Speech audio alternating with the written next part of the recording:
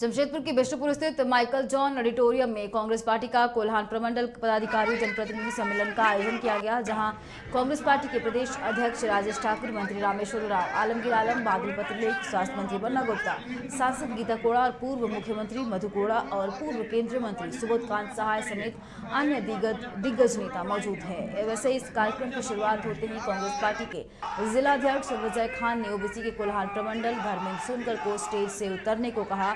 फिर उसके बाद बवाल शुरू हो गया। धर्मेंद्र सोनकर अपने समर्थकों के साथ हंगामा करते हुए बाहर निकल गए।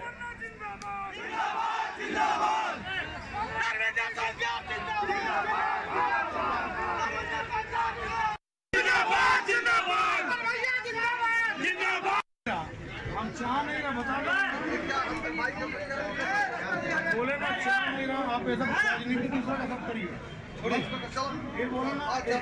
राजनीति दूसरा के साथ करिए और एक बार पचहत्तर पर धुर्रा उड़ाएँगे हम मर्द जैसा बोल रहे हैं।